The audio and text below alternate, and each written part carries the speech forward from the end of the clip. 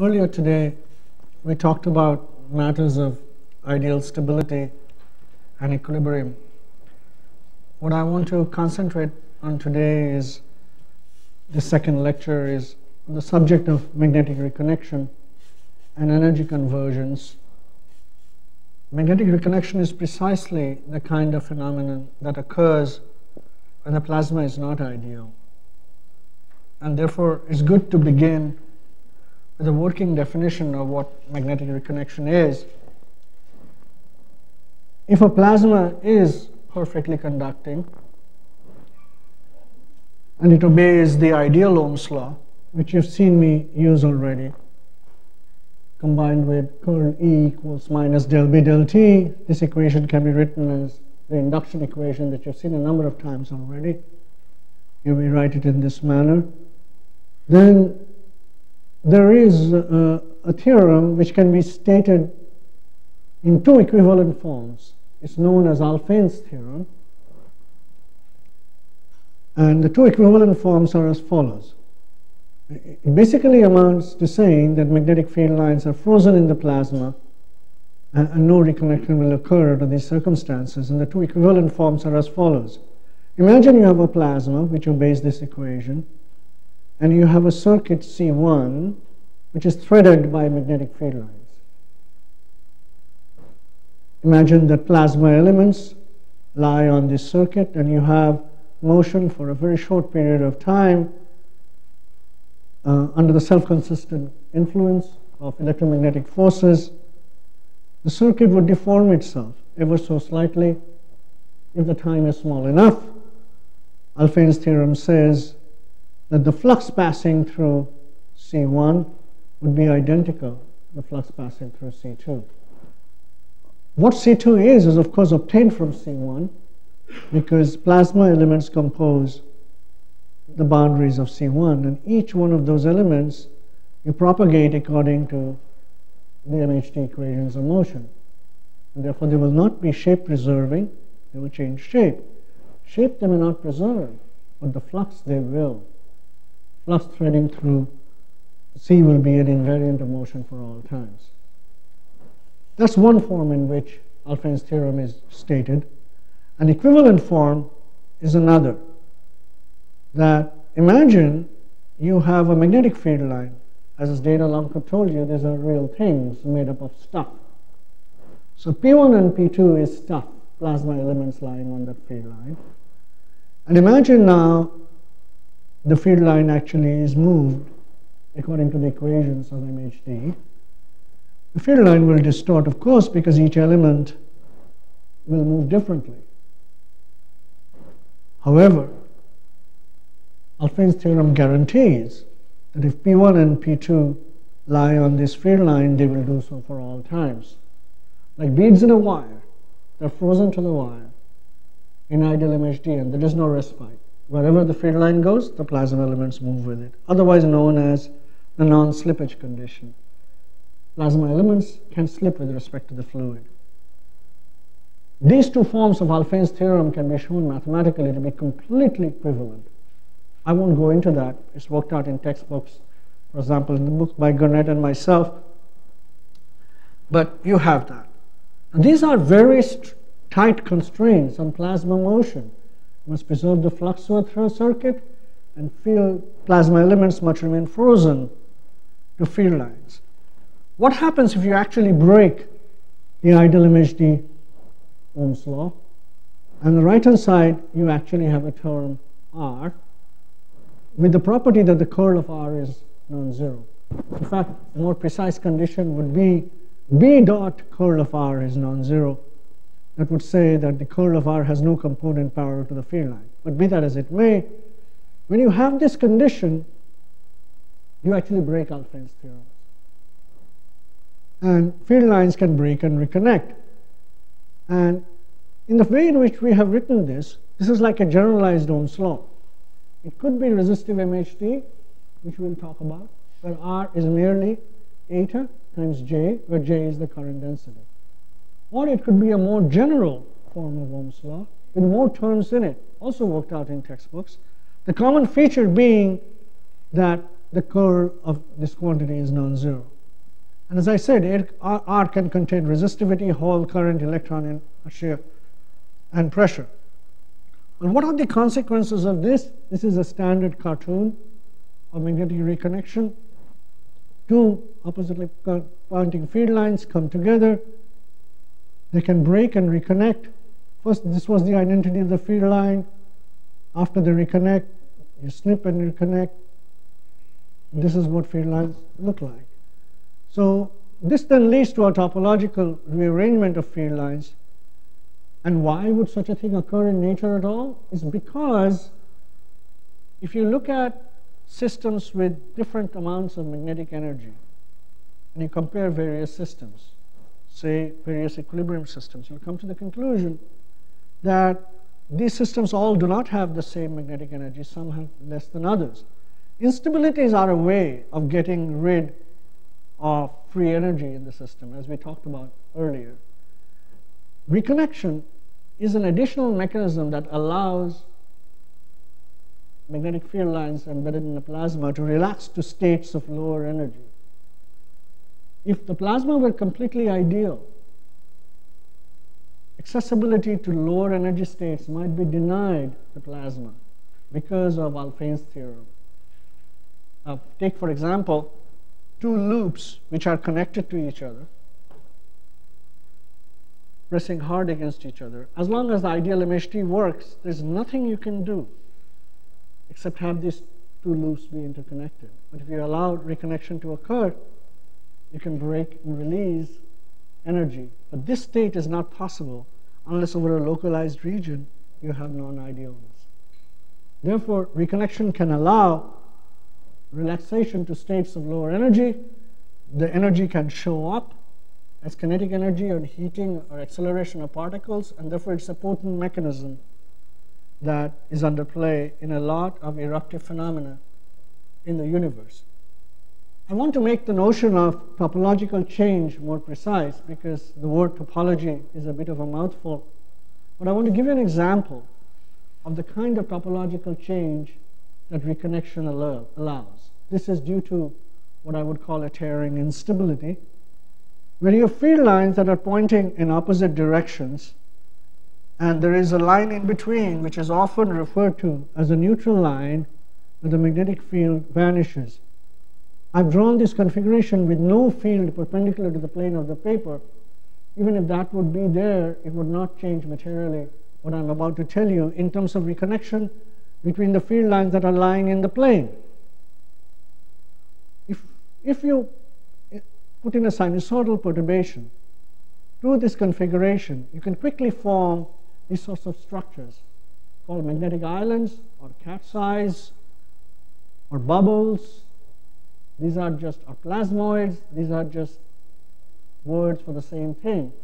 And what you're having here is, due to the imposition of this periodic field line, is that you're breaking up the magnetic field line topology, which was initially consisting entirely of field lines that are going, say, from minus infinity to plus infinity on both sides. But now you have over a region field lines which are closing on themselves. You obviously have lines which are doing the same thing before and after. But you have a new class of field lines which are purely closed on themselves. That topological change cannot be brought about in ideal MHD. You can ask me what would happen in an ideal MHD plasma if you just impose a sinusoidal perturbation that will tend to do this. You can show, and I won't waste your time doing it, but it takes a few pages of algebra to do, that if you impose that perturbation by force and insist that the ideal MHD equations go to zero, the amplitude of that perturbation is forced to be zero.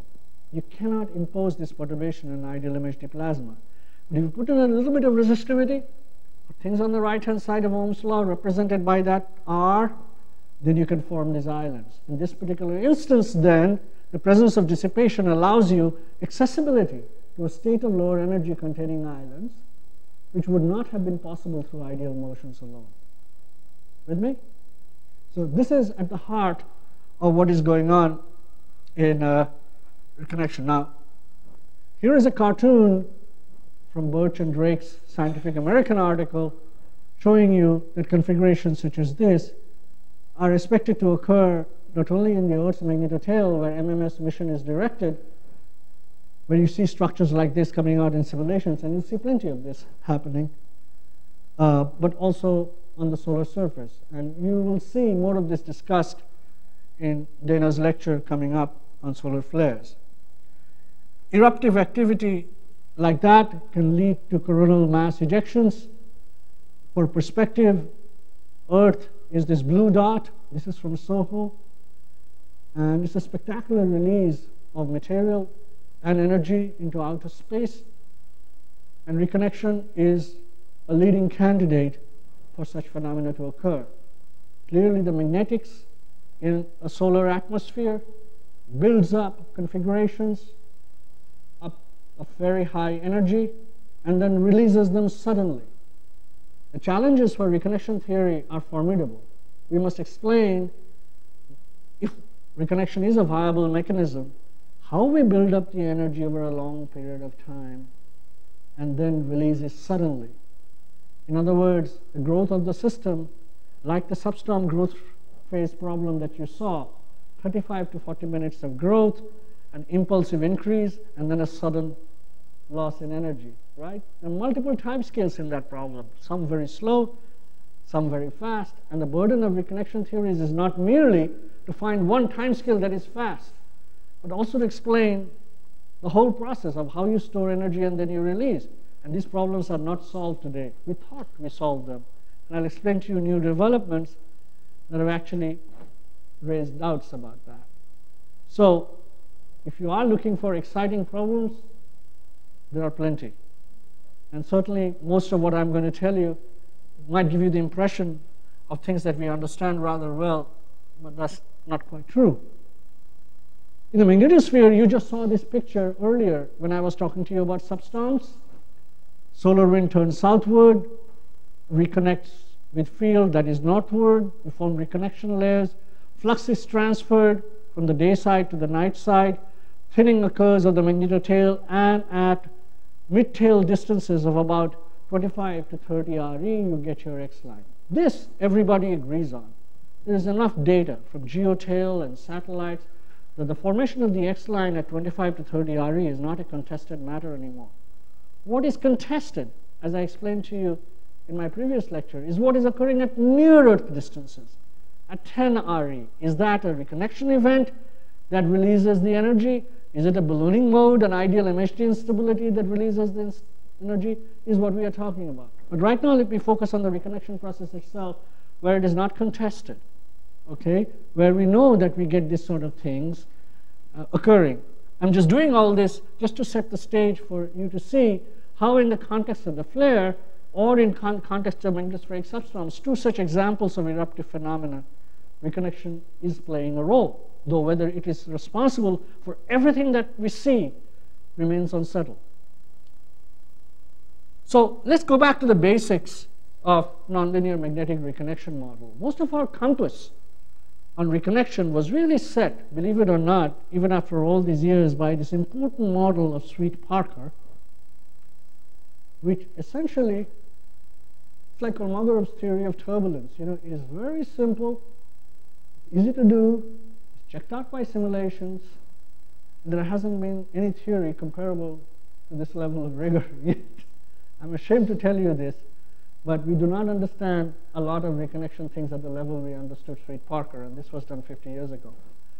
So you have field lines pointing in opposite directions, and imagine a steady state situation where the flow is coming in, field lines are merging, and ejected out from the central region as V out. These are the assumptions. This is two-dimensional system, very idealized, steady state, also idealized, Remember I was telling you we have multiple time scales in every eruptive problem? Sweet Parker can't be the whole answer to that question because it doesn't have multiple time scales. It's steady state throughout. Incompressibility and classical Spitzer resistivity. So this is your favorite induction equation.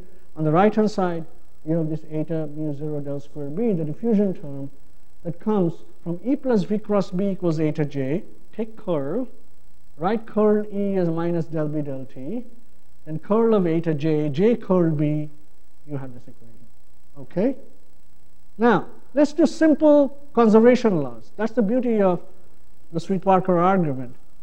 You have Vn coming in, flux, and it's getting chewed up here. So forget about this term. You're just balancing this term against this term. So this is essentially your eta j, B delta. VB balancing the chewing up of flux in this region. Assume incompressibility, rho times V in times length equals rho times V out times delta, assuming the density is the same in an incompressible plasma. If it is not, then compressibility will give you a little scaling factor of rho in by rho out, but that's a number you can calculate. It doesn't make much difference to the scaling of Sweet-Parker. And then pressure balance means that you have P plus B squared over 2 as constant across this layer, and the pressure comes in, the magnetic pressure is the highest, uh, excuse me, is the lowest here, the highest uh, farther away because B vanishes here, and what you have is the magnetic energy is being converted, B square over 2 mu naught to half rho V square as the plasma is ejected. If you simply look at this, this gives you V out going as V Alfvén. Other words, reconnection is coming in with the flow, V in, and is coming out with the Alfvén speed. But if you use these two equations, you come to the conclusion that V in by VA is delta over L. Now delta is this narrow reconnection layer and L is this macroscopic region. Now that's a small number. How does it scale with resistivity? It scales like 1 over square root of S. Simple playing around with these equations. S is the Lundquist number, usually a very, very large number for solar coronal plasmas for which uh, this was designed. You're looking at time scales of about a year.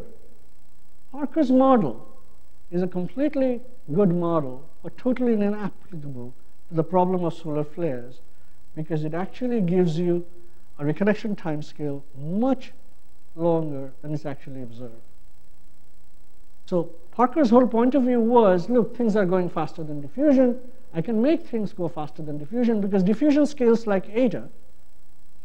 This scales like eta to the half, which is a lot faster given that eta is a small number. But is it fast enough? No, it is not fast enough.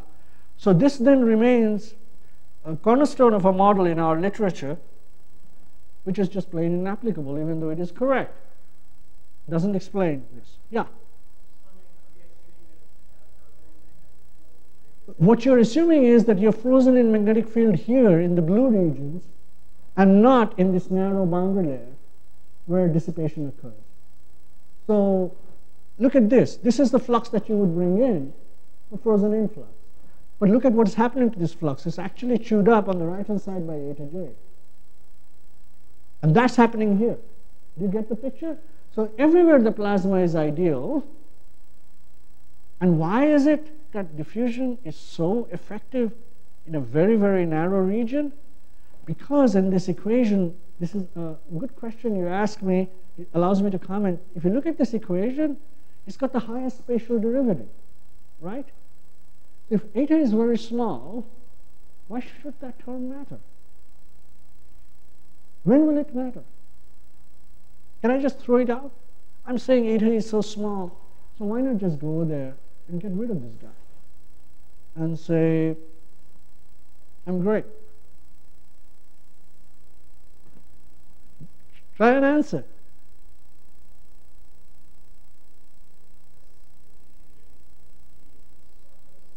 The derivatives of B are very, very strong.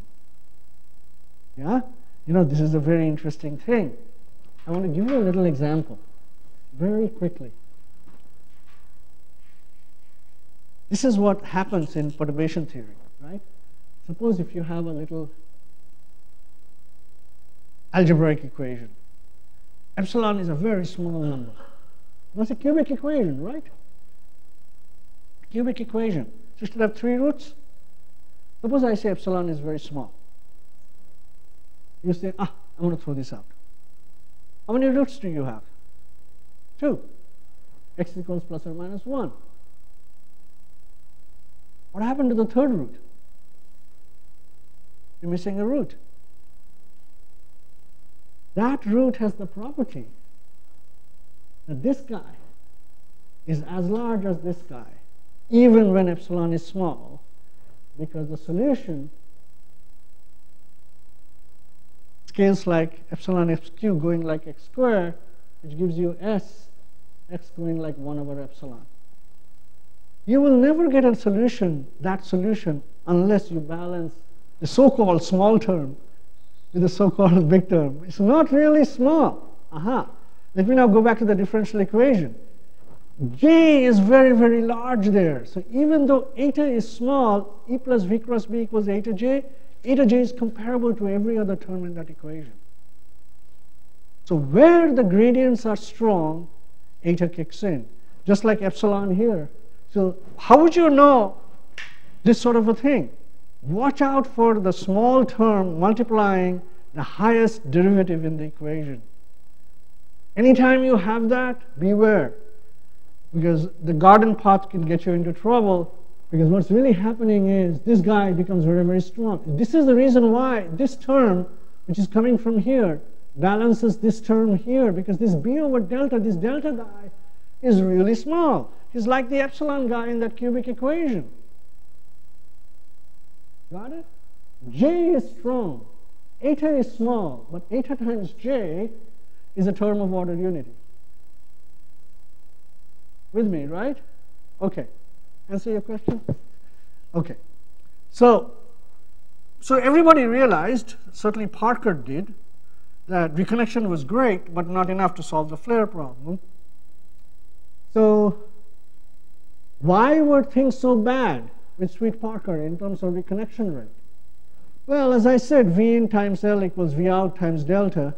V in is delta over L, VA. And look at this number. Delta over L is 1 over S to the half. The corona, that number is about 12 and above. So that's like one part in a million. No wonder you're getting reconnection rates measured by V in, how rapidly at field lines come together, which is a fractional part of the Alfvén speed. So Petschek came around and said, there's a geometrical problem with Sweet Parker. The trouble is the delta and L are too disparate. I'm going to cook up a nice model where delta and L will be comparable. Then we can get reconnection rates that are nearly Alfvénic. Great. He cooked up a model along the lines, he was a hydrodynamic shock theorist, and he cooked up a very appealing model in which he said the reconnection rate goes like tau A times log of S. Well, log of S is a hell of a lot better than S to the half. There's a much more weaker dependence on log. And what does it turn out to be for the solar corona? About 100 seconds, much closer to observations. The reconnection problem was deemed to be solved. To this day, a lot of people continue to use the Petschek model in heliophysics in all kinds of circumstances, even though it relies heavily on an assumption that is not correct, which is that the one that became evident when people actually went into numerical simulations. When they went into numerical simulations, what they found was computers helped. You know, this is where I was telling you to be careful about simulations. Simulations can teach you things that analysts can screw up about. And this is an example of that. Well, it started really uh, 1979, 84, but the paper which really shook the field was the paper of Biskamp in 1986, when what he did was that he actually set up configurations which were uniform resistivity in the plasma, high Lundquist number, S, and he tried to get the Petschek mechanism to go. He found that you cannot get Petschek to go unless you put in a lot of localized resistivity near the X point. In other words, he had eta to be small. But if you went and the code is running, you go and locally enhance the resistivity to a very high value by hand. Don't ask me why. People give hand waving arguments. You will get Petschek. Okay, let me show you an example of this. And it's done in my group a long time ago, but certainly we were not the first. Very far from it. There were many, many people who did this thing before us, just as as well. But I show this to you because it's something that, that I do have in my possession. Suppose you set up a vacuum field in a solar corona. This is obeys curl B equal to zero. Remember Dana was talking to you about force-free models and vacuum models. So this is a vacuum field. And imagine you're twisting photospheric foot point motion. Look at the initial configuration. It's got an X point, right? This is a high Lundquist number plasma. So if PET is realizable, this has a damn good chance of being PET like as you start switching because you've already built that X point that PET loves in the initial state. Well, within about 30 Alfvén times, see what you're getting. What does that remind you of? The Sweet Parker layer. Even though you started out with a geometry that was clearly favorable for PET you are producing configurations which are Sweet Parker like. You can get it to be PET if you go by hand in the code and change eta while the code is running to a very high value. What would be the argument for that? People usually say, well, the current density is getting too strong, so you have kinetic instabilities that are not that are not determined by the MHD model. You have to do kinetic theory, and that will lead to the enhancement of resistivity. Whether that is so or not is a difficult question. I can tell you that when these calculations have been done carefully, it is sometimes found that the instabilities produce additional dissipation, but not where you need it. So it isn't that this is a foolproof thing of any sort, but if you insist, as I do, then I won't fool around with parameters, resistivity is small, and I'm going to try to understand what's going on with the dynamics, it doesn't matter where you start, you end up with Sweet Parker. So there is no Petschek. What was the screw up? The screw up was that PET never really did an asymptotic calculation and it's very hard to do. That's why he didn't do it. He was a smart guy. But you will see how elements of his construction will come back to us and help us in a different context. But what really happens in this problem is that it is very hard to do a matching between an ideal layer and a resistive layer in a nonlinear boundary value problem, which will tell you how the layer actually deforms. And it has been done in some special configurations by Russell Kulsrud, who actually demonstrated that the PET model is manifestly wrong, and we have moved on from there. People still continue to use PET Old traditions die hard. I don't know what else to say about that. But I don't think it's justified in any case when the resistivity is low. Now, all of these models, Sweet Parker and PET were steady state models. But I was telling you that most problems do with eruptive dynamics have two time scales in them a slow growth phase and then a sudden interruption. So, therefore, the reconnection dynamics must, at the very least, account for two of these time scales.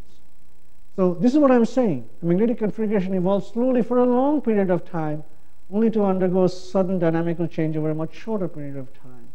And in many of these cases, you get singular current sheets, current density extremely large. And this is a classic multi-scale problem, coupling large scales to small. Dana will talk to you about solar and stellar flares, and I'm sure he's going to mention to you impulsive flares, impulsive acceleration, and things like that. So I will not spend any time on that. What I'll do instead is talk to you about magnetospheric substorms, which you fortunately got introduced to already, and I won't dwell on that in particular I'm actually worrying about the problem of substorm onset. And this picture that I've gone through already, so let me not dwell on it again. So what I'm after, uh, I'm going to just pass on this because I explained this auroral brightening and what, what I'm really trying to get at here is that if you look at the time scale of evolution, the onset starts out with local brightening. But look at the sudden spreading. Substorms too, like flares, have a storage phase where they store energy and then boom, it goes, right? Somehow the whole reconnection problem must be slow at fast and then very rapid. A really, really important problem that no steady state models by definition can address. So you have to do the time evolution problem.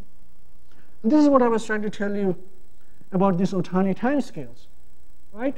Slow phase, 30 to 45 minutes, a growth phase of the current density, and a disruption, the two minute problem. Enough said. People came to the conclusion, and we will revisit this conclusion, that you cannot find this solution within the realm of the resistive MHD model. Because what we had with Sweet Parker, we had. Petschek was wrong. Sweet Parker was right. Sweet Parker gave you one time scale, much too slow. So what do you do? You start looking for solutions that lie outside of the realm of resistive MHD, and it didn't take a long time for people to figure out that all these terms which are in the textbook, so if I move this to the left-hand side, it's E plus VI cross B.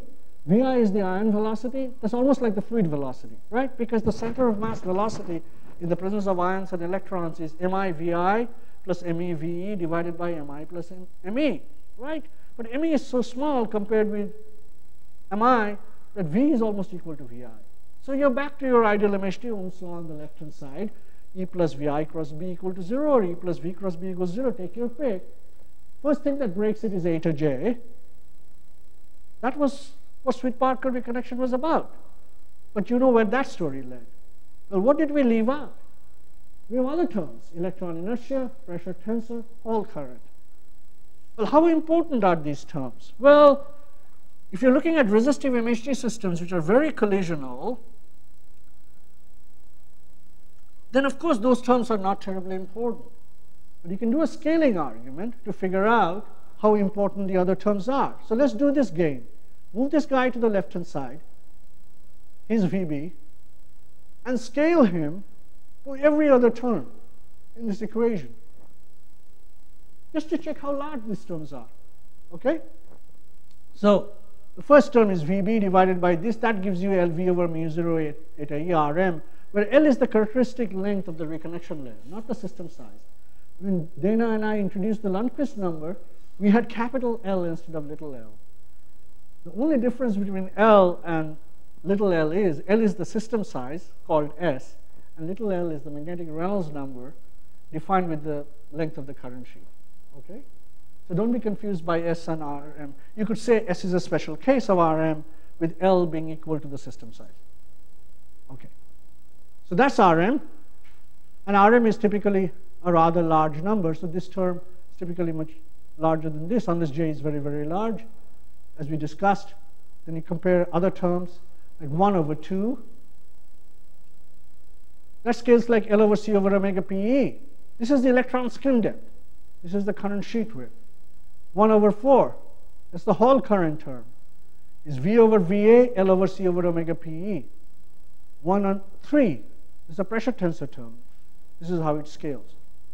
It's good to have the scalings in front of you because you cannot make uniformly valid statements about every plasma that you're in. It all depends on how the numbers come in. But what you can see is that if the length of the current sheet becomes of the order of the ion skin depth, certainly Hall currents are very, very important to keep in mind. The similar true is pressure tensor. So this gave rise to a whole new branch of work, which is called Hall MHD, and this actually focused on studying the role of the Hall current and the pressure gradient in an Ohm's law, okay, where you not only have resistivity, here 1 over s is the Lundquist number. d square is the electron skin depth. This is written in dimensionless form, and this is the ion skin depth. Beta is electron pressure. What we are now doing is to look at highly collisionless systems in which eta is not the dominant dissipation mechanism. Other collisionless mechanisms, because eta depends on electron-ion collisions dominantly. These other terms, though, they don't rely on collisions. So in collisionless systems like the Earth's magnetosphere or tail, where the density is extremely low, where collisions are nearly negligible, you can just about forget about this term, right? And it's going to be dominantly driven by these terms. So let's look at situations where we first look at the consequences of resistive MHD and then turn on these terms and see what they do. For that, are you guys with me? I'm now doing what you would call Hall reconnection in which Hall current and pressure gradient are coexisting with the resistivity terms. Okay, what you will see, and let me go directly to a comparison, and then I'll return to this. Imagine we're doing a simulation. The field lines pointing in opposite directions, and we give it a gentle push. All right? Either you give it a gentle push or the system is unstable in its own right, whichever. The nonlinear evolution is what you want to focus on. You can put in a field, what is often called a guide field, perpendicular to the plane of the paper. And here we call it BT. And you impose this. Now let's compare the results of resistive MHD with Hall MHD. Resistive MHD holds no surprises. What does this remind you of? Which model? Sweet-Parker. What reconnection rates would you get? You know the answer. Scales like 1 over s to the half, rather slow. You get current sheets which are almost of the system size, electric field pointing out of the plane of the paper, the same level of localization, and narrow jets coming out. Okay? Now, with the same initial condition, you turn on the Hall terms. After an initial period where the system looks like resistive MHD, it spontaneously readjusts itself to form this configuration. I didn't go and fool around with the resistivity or do anything of the sort. All that we did was that we were running the original simulation with purely resistive MHD and we ended up on the purgatory of Sweet-Parker. Now we say, aha, no, I don't want to do that. I've been there enough. I want to keep the Hall currents on and see what happens. Transiently, you see Sweet-Parker, and then see what happens. You get a decoupling between the scales of the current density out of the plane of the paper. Electric field is on a scale of ion skin depth. The current density is still narrow and thin, but much more X-point-like. The jets are much more X-point-like. What does this what does this uh, remind you of? The Petschek model. Except Petschek was doing this with only resistivity and claimed you can get there with resistivity alone. What are we finding rather remarkably? That if you keep the Hall currents in the problem, the system spontaneously adjusts itself to form a Petschek-like geometry. So, will the configuration support fast reconnection?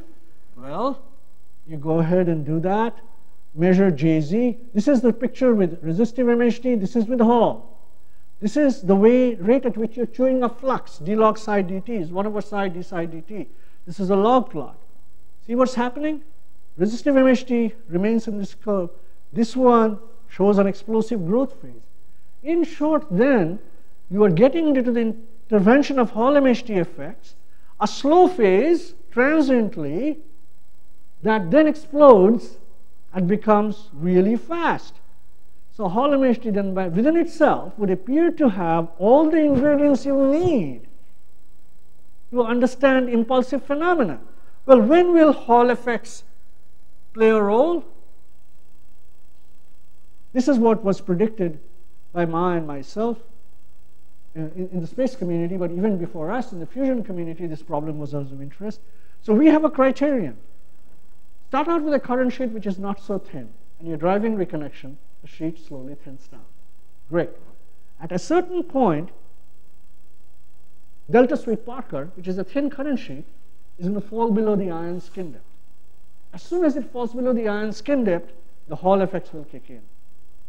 So the growth time is as long as for the system to take, system takes to produce a thin current sheet from a larger, wider current sheet, which is below the ion skin depth. Once you do that, the system takes off on its own and gives you a fast reconnection phase.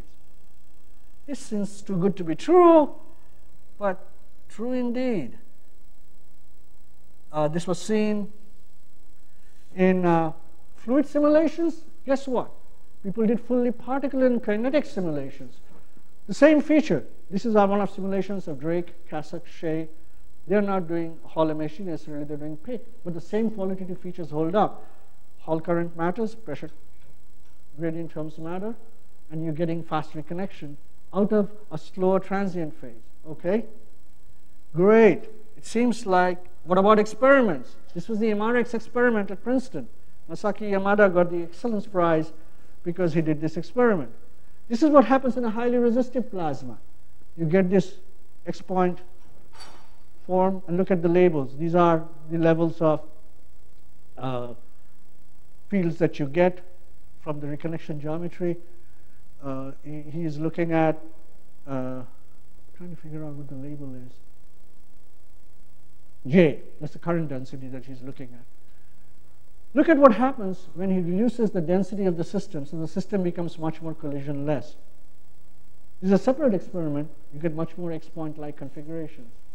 So clearly, in the weakly collisional regime, as you get into a case which is of greater interest in solar or magnetospheric plasmas, the mean free path is actually larger than the system size.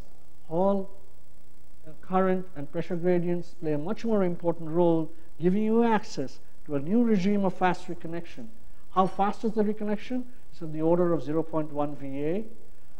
How sensitively does it depend on dissipation? Negligibly. It doesn't have the S to the half dependencies. It has that as long as it stays in the Sweet-Parker regime. When it transitions, the reconnection rate jumps up. We're doing great. We really thought we solved the fast reconnection problem. So when you get to be an older person, you start counting how many years in research you have left. Right? So I often do that.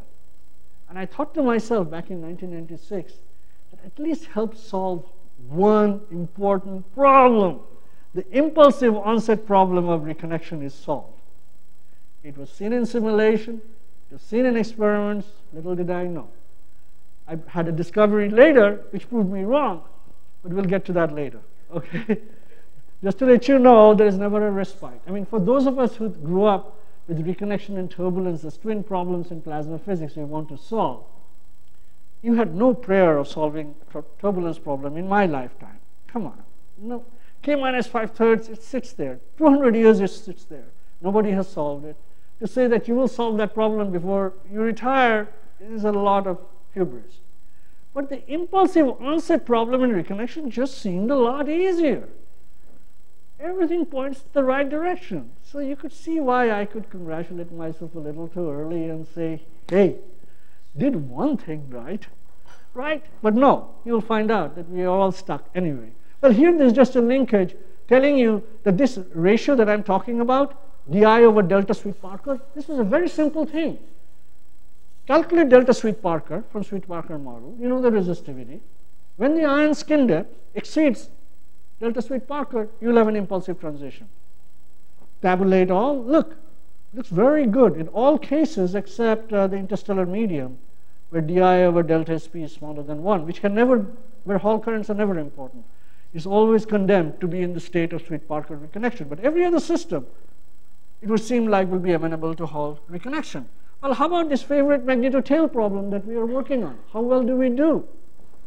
Well, it started with the dipole field that Dana introduced you to, the plasma and everything in it. You drive it with a solar wind. Remember I was telling you current sheet thins down? Well, truly it does, and you form this X point, just like in the observation and the X-band propagates inward. This is Ohtani's picture that we were trying to reproduce. How well do our simulations do? We get the growth phase right, we get the impulsive onset right, calculating this at 12 Earth radii, and then this thing falls. Well, does this fall as rapidly as seen in the observations? No. It actually falls much more slowly. This was the reason why we felt the reconnection by itself was not enough to explain the substorm growth. Because if you looked at the Ohtani plot, this guy is a few seconds. What is it in our simulation? It's like 20 minutes. What do we do well in the simulation? We do fine in the growth phase and the impulsive onset. This is like 45 minutes in our simulation, exactly like it is in the observation. We also get this enhancement, but we don't get it right which is why our mind turned to ballooning instabilities. At near Earth distances, being a possible mechanism for substorm onset, because it could proceed much faster on Alfvénic timescales, much faster than we found in our simulations. I'm not going to revisit that controversy again, but now you at least understand the problem. If you simulate the magnetotail in two dimensions with Hall MHD, you get a lot of things right, but you don't get this guy right unless you go back and put up the resistivity or something very high unrealistic values at the X point to drive your reconnection faster. A lot of global codes do that. They run their codes necessarily with such high values of resistivity that they end up getting, they do it for numerical reasons, very fast disruption timescales. But that's not the parameter of the magnetotail. The magnetotail is a highly collisionless system. Eta is very, very small. All the help you've got is from the Hall current, pressure gradient, and all of that. And if you do the game right, you don't get it. You don't get the right time scale. This is my point of view. I love reconnection, and I wish I could say that the substorm onset time scale makes sense in the context of reconnection. I don't see it as yet, which is why I turn to ballooning, which is also not enough. So that problem remains unsolved. Ballooning takes you part of the way. Well, all of this stuff is now the stuff of MMS, launched 2015, a very exciting mission. It's probing the electron diffusion region where the current density is very intense. You'll have, we'll have lots of stuff to learn from this mission as we go forward.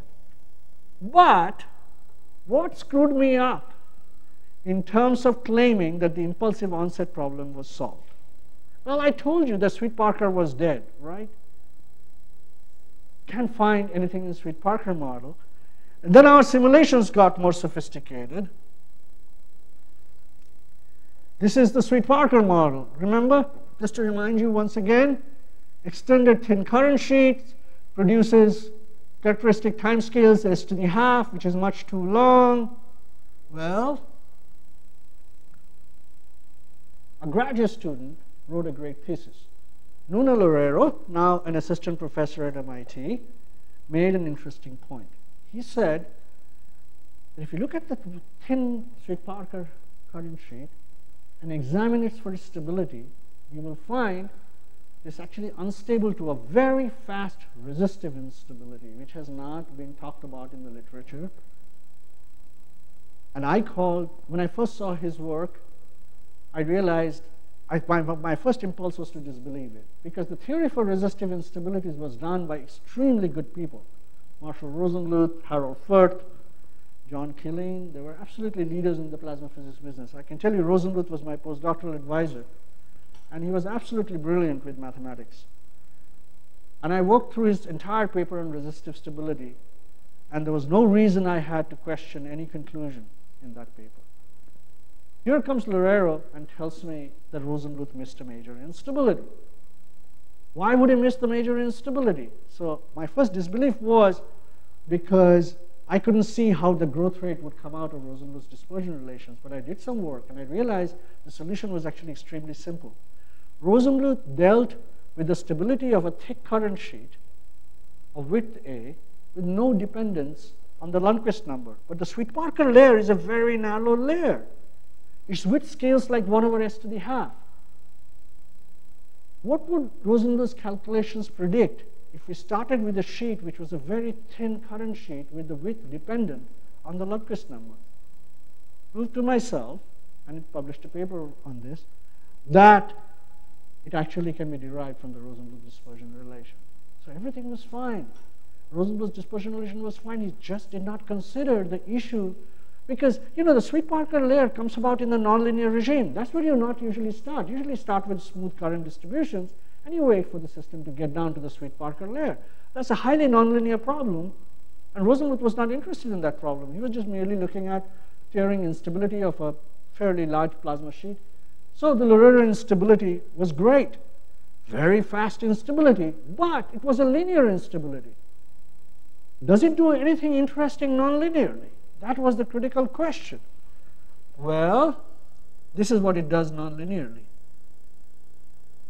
Watch this movie, okay? Here is a thick current sheet thinning down. And it is thinning down and thinning down, and it will form transiently a Sweet Parker layer. But then, when the Lundquist number exceeds a certain critical Lundquist number, 10,000 it turns out, starts out becoming linearly unstable to Loureiro, but it does more than that. Forms these plasmoids, tons of them, very impulsive. Okay? And these magnetic islands or bubbles or plasmoids, as I call them, they coalesce, they're ejected, and it's a near chaotic phenomenon. You could not predict which way the plasmoid was going to go once it is formed. It's a nonlinear dynamical system, very sensitive initial conditions or noise in the system. But doesn't matter. The qualitative behavior is always this thing, big plasmoids forming, gobbling up the small plasmoids through coalescence and stability, And the whole damn thing continues as the system runs out of flux. Well, this is resistive MHD. It has got no Hall current, it's got no pressure gradient, and it is virulently nonlinearly unstable. The Loureiro instability was just a beginning point. And so there's a little history here. If you go back to the literature, you will find that prior to Loureiro's work, there were a whole lot of people who worried about Sweet Parker current sheets becoming unstable to plasmoids. If you look at Biskamp's book, he says it'll enhance the reconnection rate, but doesn't make a big deal about it. He saw that in his simulations, just didn't quantify it. Loureiro carried out a good linear analysis. I did the nonlinear theory.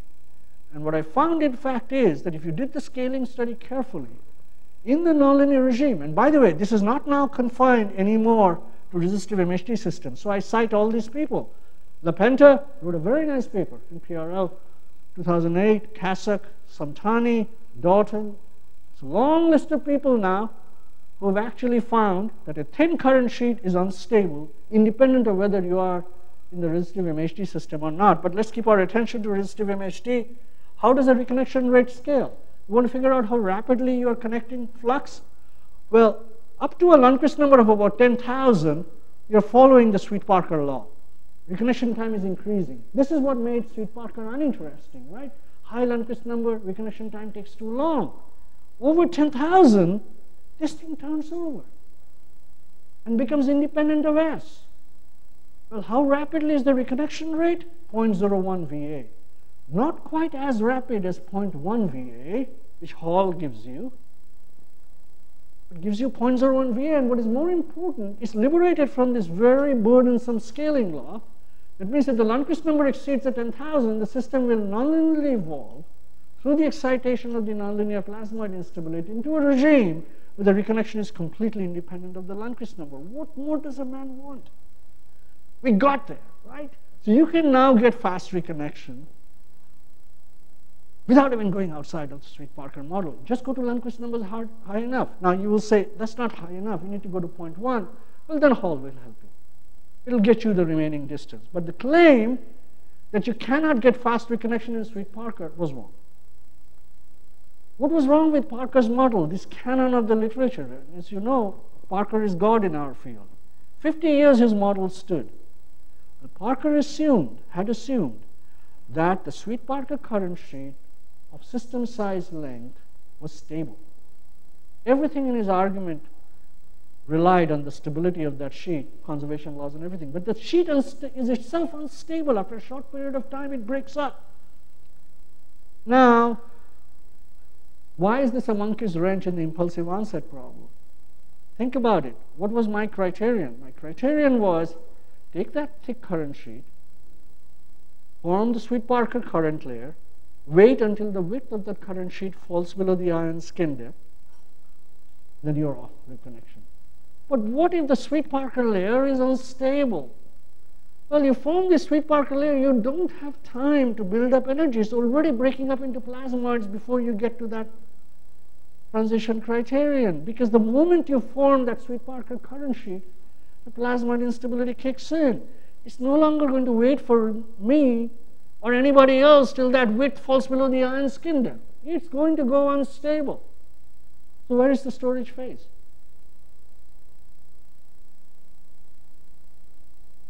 We had victory and we discovered the plasmoid instability, but the plasmoid instability kills. Such is the way of nature. Ultimately, she will hold forth, and we mortals think we understand something, and then something else will come and get in the way. I have a scaling argument here that tells you why this thing works, okay? Let me not go over that right now because uh, you can study this. I, I can, we can demonstrate by simple scaling arguments that the reconnection rate becomes independent of S. This is what I mean by saying that you must always do some theory to make sure that the results from your simulation. You know, I think what happened to people is that they ran their codes and saw the plasmoid instability and thought it was a numerical instability. What I give Loureiro a lot of credit for, he actually did the mathematics for the linear instability correctly, so that you actually got a growth rate. So you know that if you saw the instability in the system, this was not because you were running out of resolution. So we could benchmark. the linear growth rate and then go to the nonlinear regime with confidence to find the result that really matters, that the reconnection rate becomes independent of S.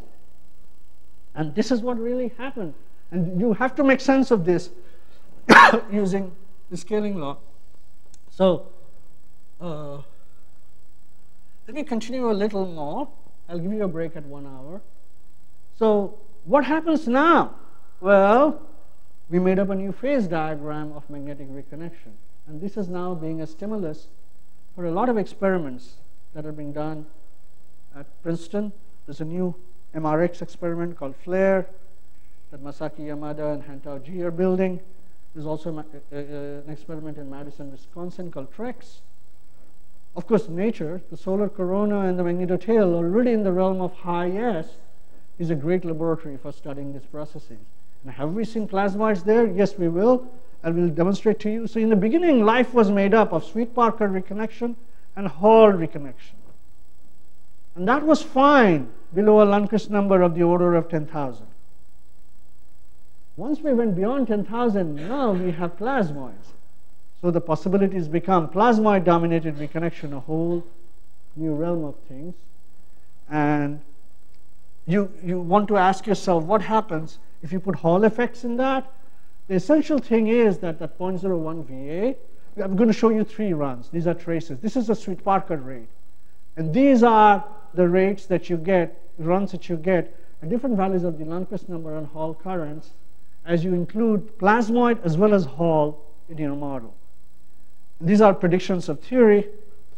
There are two modes, two ways in which you can get fast reconnection in, in the presence of plasmoids. If you turn on the Hall current, one of them just gives you a pure X point with the Hall effects pushing the plasmoids out. And that gives you fast reconnection.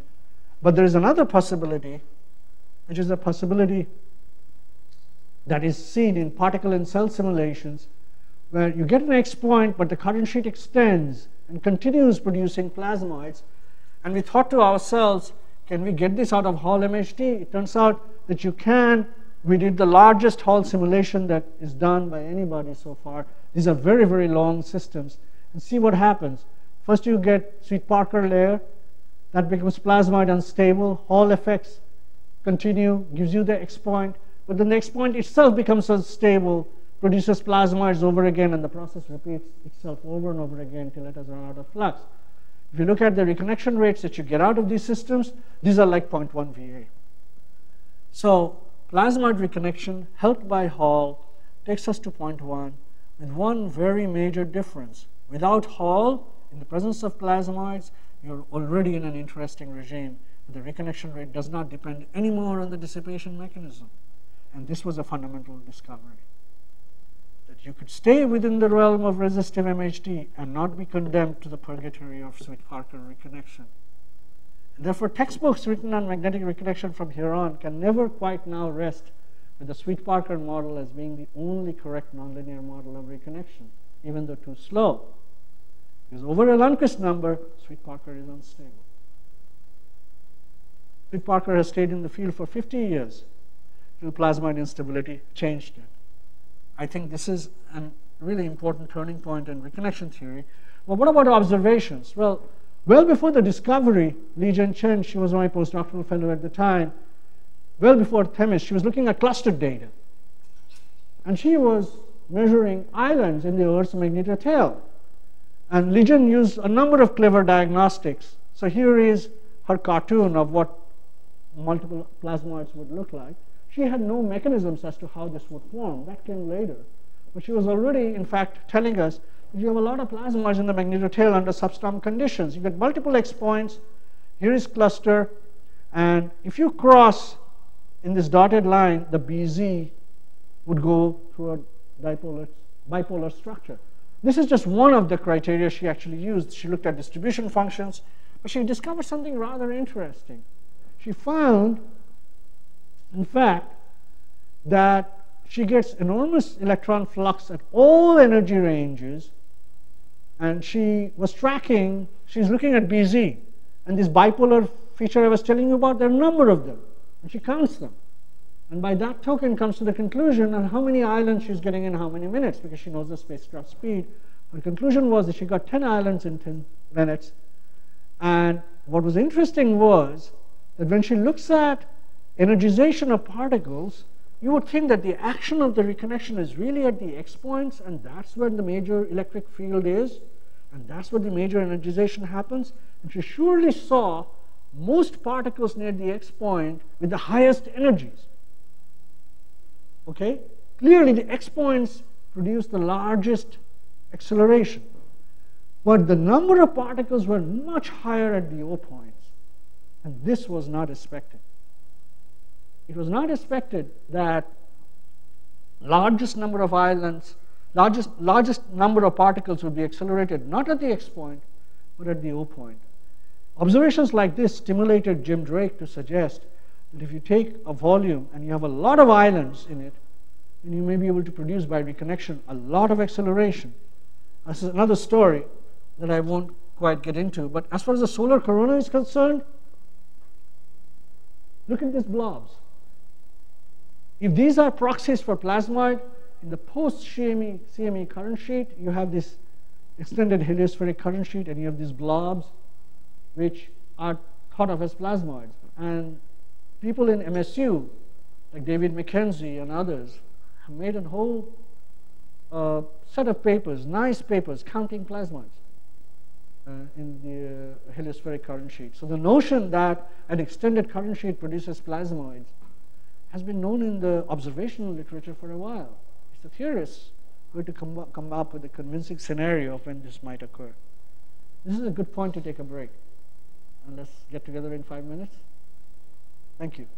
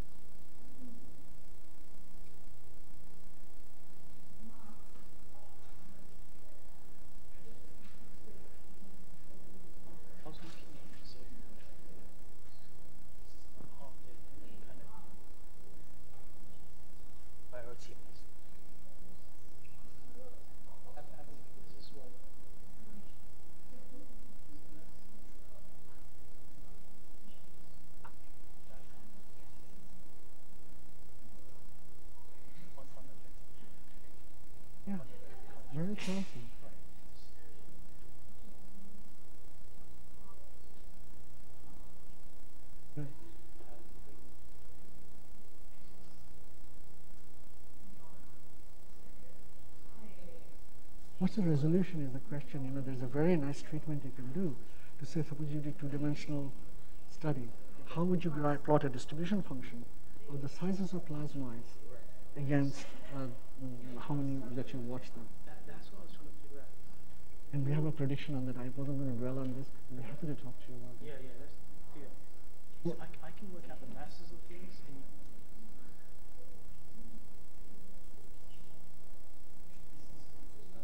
I thought we were important at the time, but I, can, I, I, I hadn't gone back to the theory to figure out relevance to the light. I think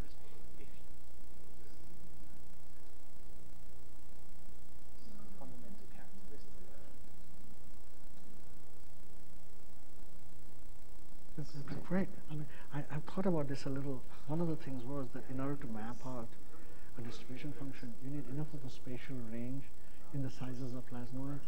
And basically, uh, Lijia Guo, who was my PhD student, she tried to do this. And what we found was a very interestingly a power law followed by an exponential. But the sizes that we had were not enough to discern much of the power law. Larger range to really vindicate. This might be able to help you with that. These are what observations? These are oh, this was, uh, I did this was, sorry, this was the, the core, uh, core, core Yeah, yeah. Um, so this is something, if you feel like you have the range, I'll be really happy to share with you. This is really... Yeah, yeah, yeah. So, uh, well, let's have a look. I'd love to see that figure. Sure. See what kind of scale we're. Absolutely. In fact, the only reason I took it out is because I wanted to details. More, details. I wanted to do more things on it. Yeah, yeah, yeah. Okay. Thank you. this sounds good.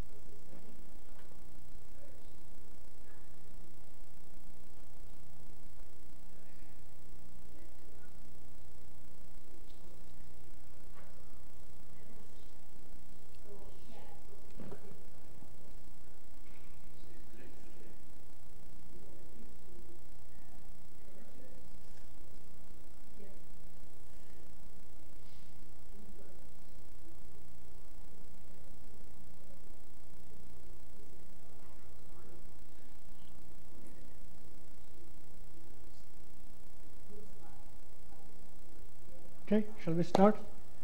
Thank you.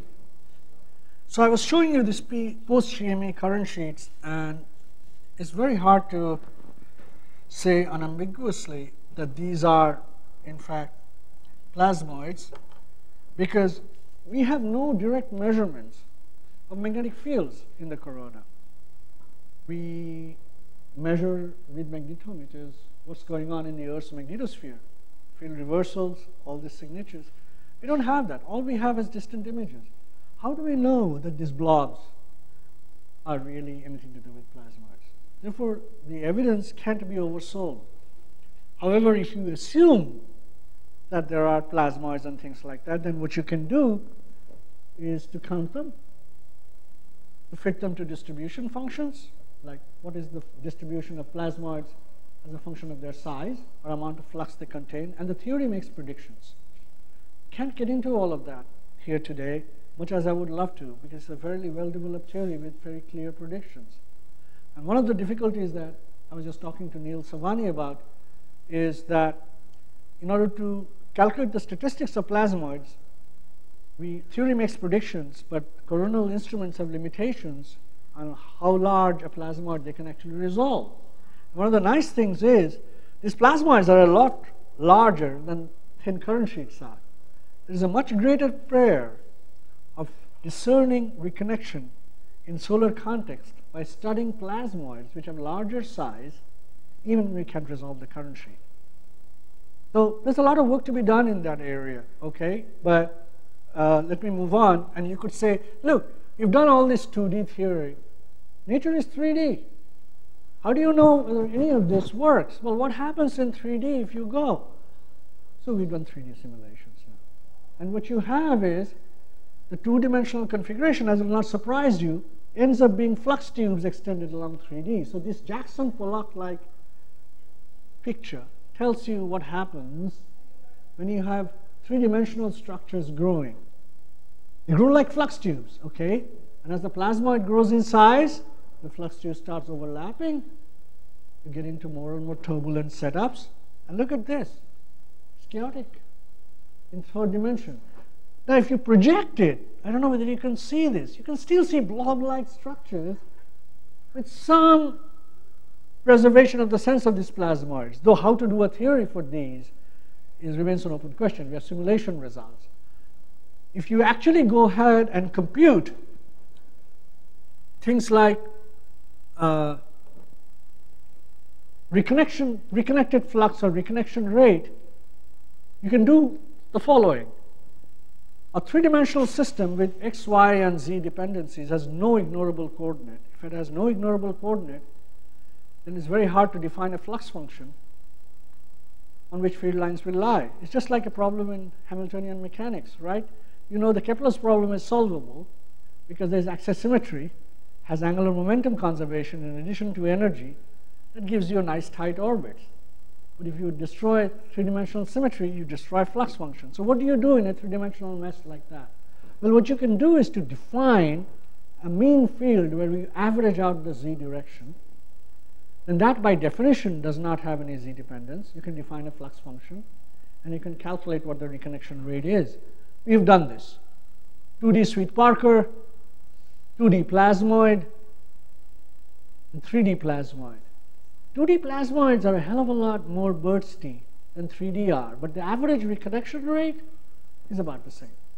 So it's interesting that you get more turbulence but the average rate at which you chew up flux in the mean field is about the same. So by itself going to 3D, even though it dramatically changes your morphology, doesn't necessarily change your reconnection rate all that much. But reconnection rate is not the only thing.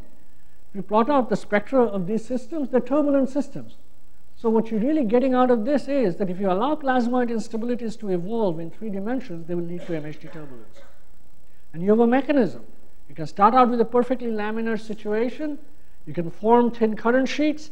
They'll be driven plasmoid unstable in 2D. In 3D, the instability persists with even greater growth rates, produces chaotic field lines and turbulence. And this is all quantified in our papers, and I won't take a lot of your time. Energy spectra, velocity spectra, you get power laws, and all of this. That's a different story, and what I want to do is to turn to the problem of energy conversion. Lots of issues. But I do want to touch upon the important issue of energy conversions, which was driving this discussion to a point, and magnetic reconnection being a driver of that. We talked about how you get topologies which have lower energy, so you liberate the magnetic energy. Now it turns out that it's very hard to get precise data on energy conversions. We have evidence, of course, in a solar flare that you can have reconnection and enormous energization. As far as that is concerned, those are measurable things. But suppose if you have a reconnection layer and you really want to quantify how much energy is coming in, how much is going out, what exact is dissipation, you need very careful in situ measurements.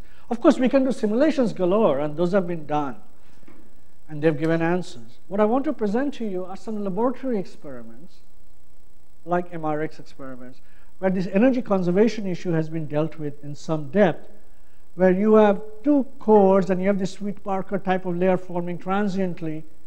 They do helium, and they are in a collisionless regime, the lambda mean free path of the system is much larger than the ion skin depth, which is much larger than the current sheet width.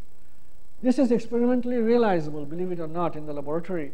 This is resembling what goes on in space conditions, though the scale separation is much larger in space than are in laboratory experiments. So laboratory experiments you have to learn from, but you cannot apply blindly to space cases because the parameter regimes are vastly different. Well, what have we learned from this exercise? Well, there is electron dynamics and electron heating in MRX. They quantify this, okay? In space, if you have MMS, a cluster, guess how you calculate current density? You calculate the difference in magnetic fields and divide it by the density. It's called the Curlometer. Right? That's not a very good way to approximate current density unless the two points are very close to each other. Right? We all know calculus. You can get derivatives in the limit in which delta x is very small. But unfortunately, in satellites, delta x is huge. And current densities, therefore, are damned hard things to measure. In space, the way people do that is through curlometers on the one hand, but also through a measurement of the distribution functions and taking moments of distribution functions. But to find current densities using distribution functions, that's not easy either because you're not after some mean velocity. You're trying to figure out the difference between electron velocity and ion velocity because that's what enters J. And taking moments of partial distribution functions that are not fully 3D is also a formidable task. In the lab, they fill the plasma with probes. So they can really put probes as close to each other as possible to measure current density. So when they say J and they measure these are measuring very uh, uh, as accurately as they can. Well, this is what comes out of the experiment. These are experimental data, magnetic field and electron flow velocities. So what really happens in a reconnection layer is that the reconnection layer is a two-layered thing.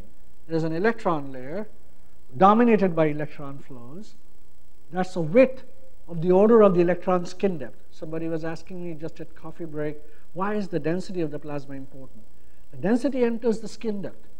It enters the electron skin depth, which is C over omega PE. It enters the ion skin depth, which is C over omega PI.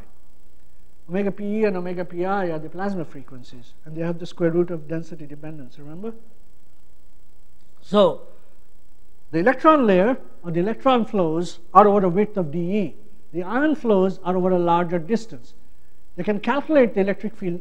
They find that electrons do gain energy by EY. But interestingly enough, this is surprising, but it's also true in the Earth's magnetotail.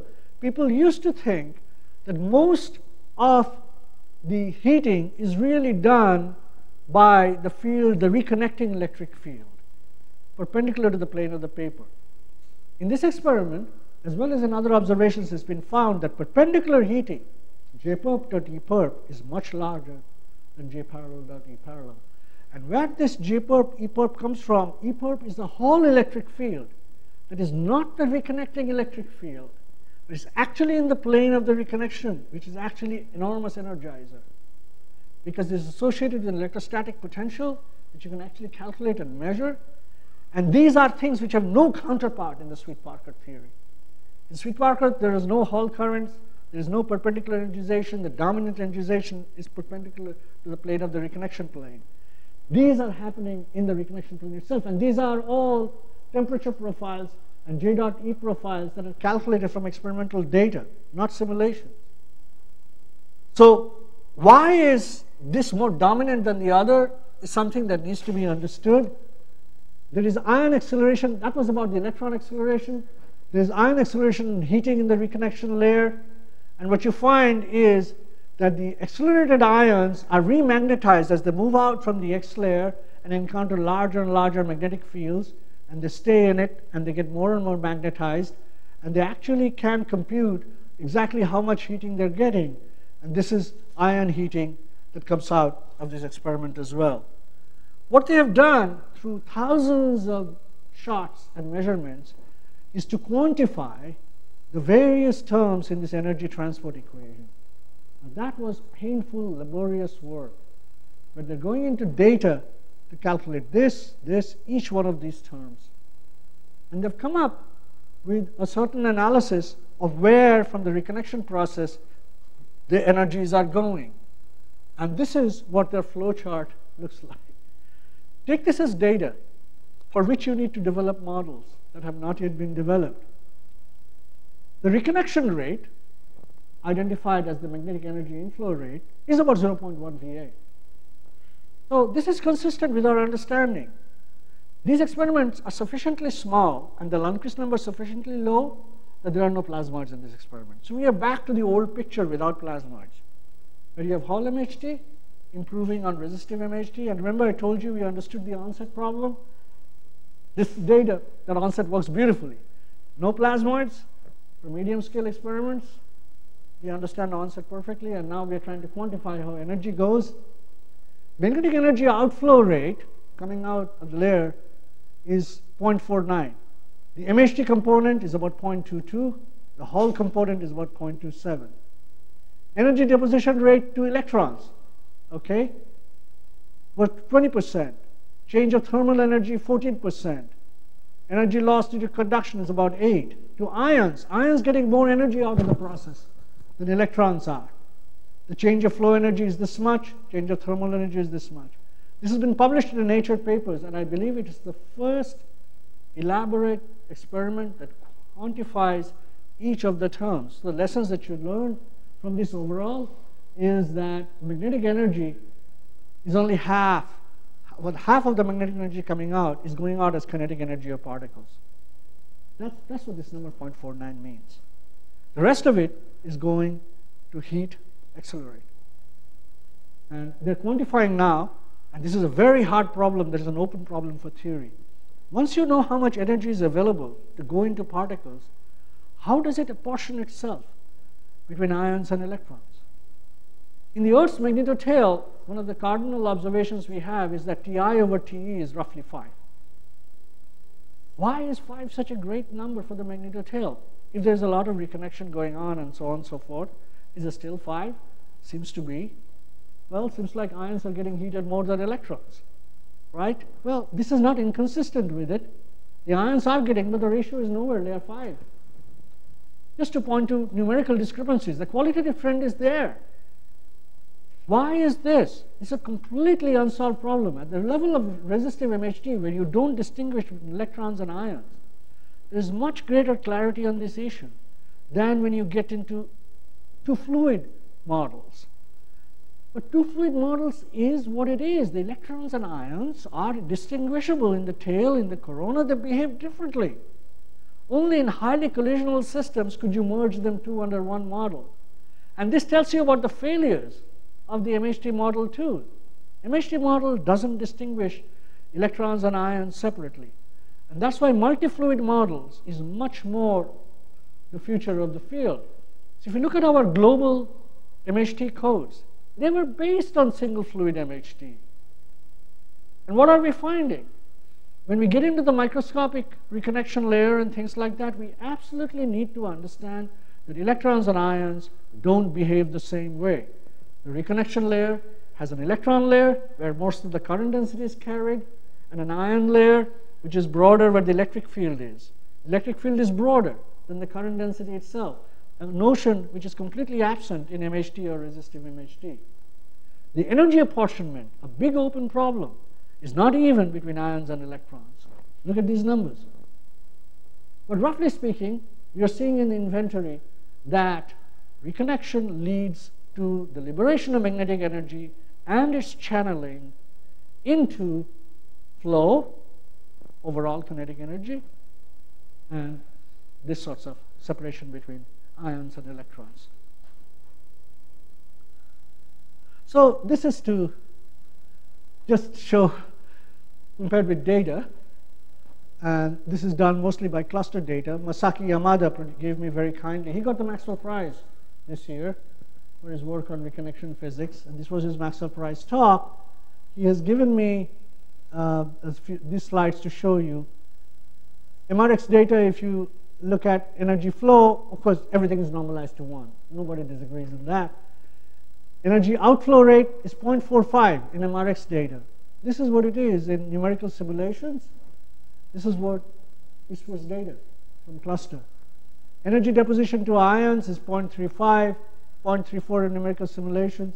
This is what cluster data is. Electron is about this. So energy deposition to ions is generally larger than to electrons. With the electrons, heat transport loss is larger than ions, implies this. Yeah, this is an attempted explanation and a speculation, but this hasn't been proven. With the electrons have a loss channel that allows them to lose their energy, and that is what substantially leads eventually not to equipartition, between ions and electrons, but a preferential heating of one species over the other. Let me come to the end of my story, is that magnetic reconnection, in my view, is the Sisyphus of the universe. You know the myth of Sisyphus, always trying to roll a mountain up the hill. So I was in Paris for one of my sabbaticals. It seems such a long time ago. I was having a great time.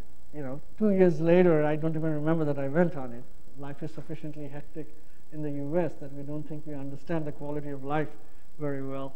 I myself am a guilty party. But anyway, in one of my forays to one of the museums, I saw this nice picture and I thought of, of Sisyphus. And so Camus, who was a great novelist but not much of a philosopher, said the struggle itself is enough to fill a man's heart. One must imagine Sisyphus happy. I often think of reconnection as the Sisyphus of the universe. With that, thank you very much.